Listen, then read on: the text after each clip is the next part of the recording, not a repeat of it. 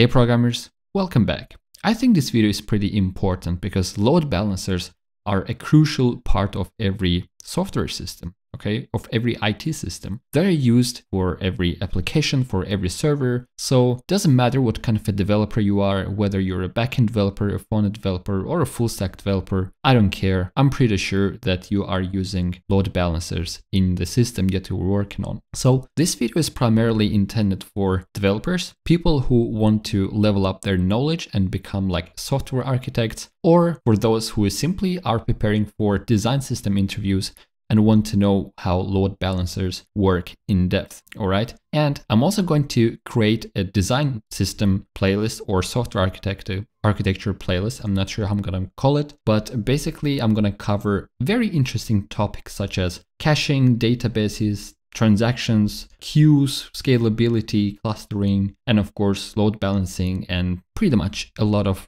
interesting stuff that not that many developers know and could take your knowledge to the next level. But let's get started with load balancing. So here we see a little diagram, all right? So we basically have a web app and a phone that is going to interact with our servers.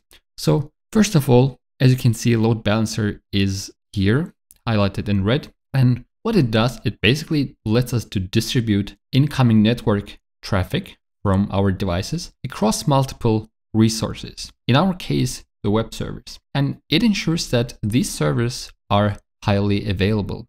Meaning if we get too much traffic, so let me put another arrow here. So we have twice as much traffic now. We still can make sure that we are our service are capable of handling the traffic. So basically this provides availability and reliability by sending requests to servers that can basically accept those requests coming from the client, okay? So we're gonna take a look at how load balancers actually do that. So interesting thing with load balancers is that in many architectures, yes, they are standing in front of the web servers, but they don't have to necessarily be here.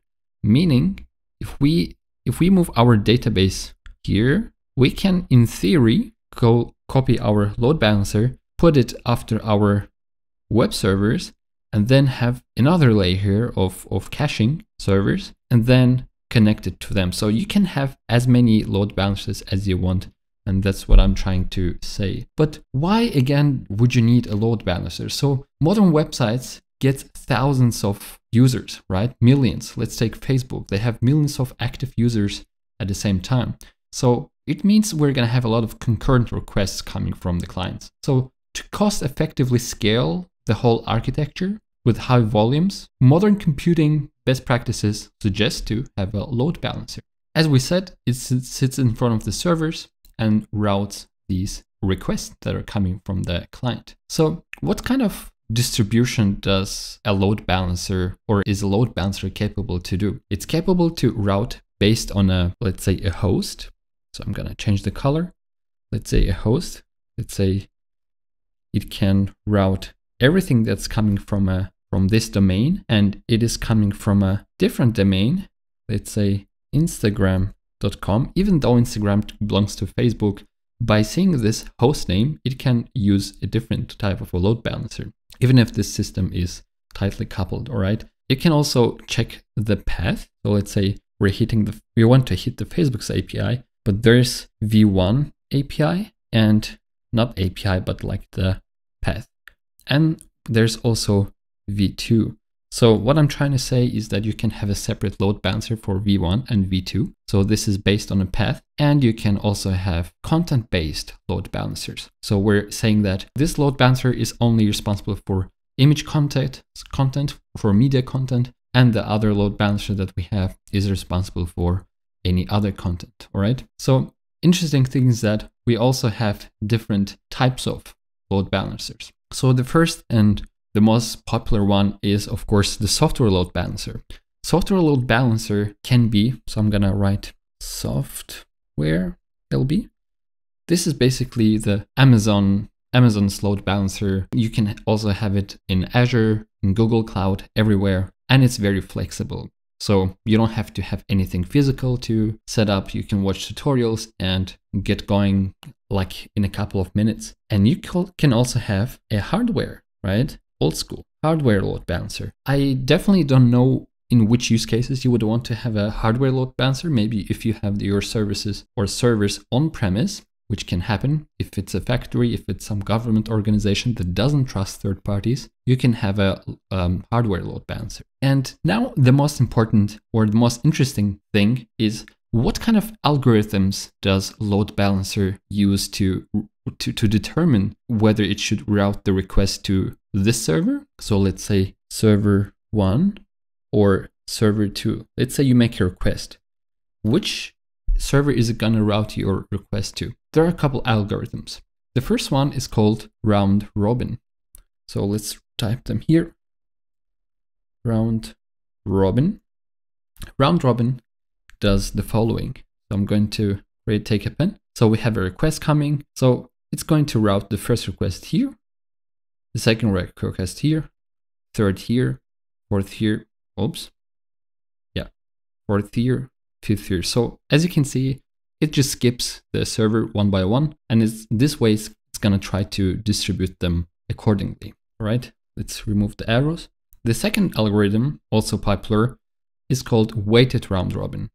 This means that every server, in our case we have two servers, they have weights. So let's say this one is two and this one is one. So the way this is gonna work, we get a request, we're gonna route two requests here, one, two, the third one is gonna go here, the fourth one here, the fifth one here, the sixth one here. It basically indicates that one of the servers has a higher capacity to handle requests, therefore it's gonna get more requests, more requests to handle, all right? So what else do we have here? Let's remove this. There's also an algorithm called least connections. Actually, let's expand our list, weighted round robin. The third one would be least connections. So the load balancer is going to determine which server has the least number of connections, and it's simply going to route the request to that server. For example, let's say the web server has 10 active connections, the server 1 has 20. So it's going to route the request to this web server 2 because it has less active connections. This is pretty useful. And now the complicated ones, the ones that are used uh, mostly, I would say, is the least response time. So least response time. And you might ask, how does a load balancer know how many connections and what the response time for every web server is? Well, it does. It, it works as a ledger and it keeps track of the health of every server that is connected to. So it knows how to manage the requests that are incoming. All right. So the least response time is going to check which server is able to basically return the data the fastest, and it's going to use that one.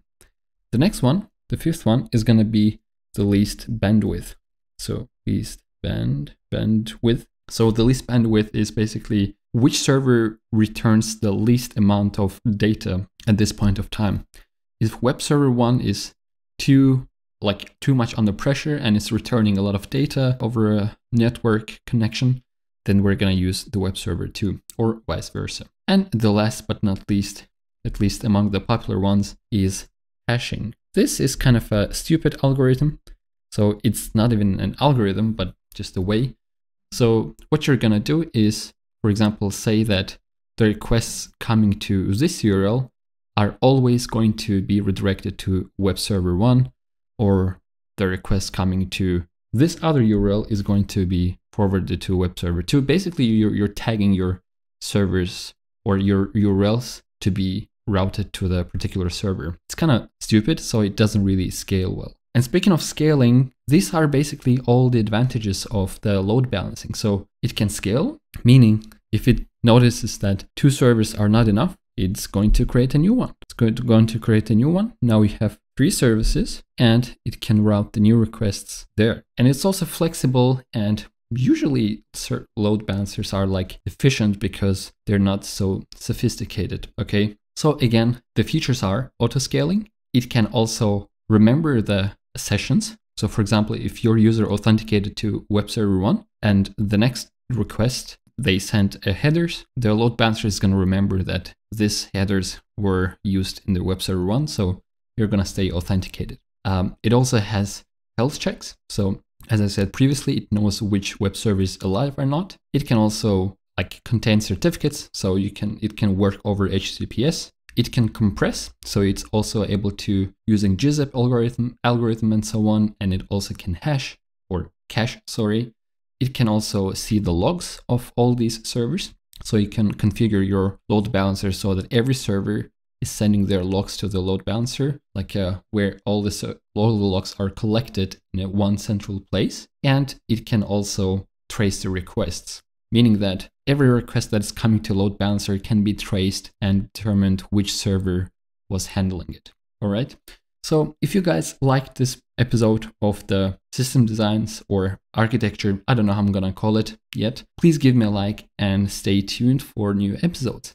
And I'm gonna see you in the next video. Hey there, it's me again. I just wanted to quickly say thank you very much for watching this video and smashing the like button. And if you wanna stay up to date with such cool topics, Make sure you subscribe so that you don't miss whenever a new video is out. And I'm gonna see you in the next one.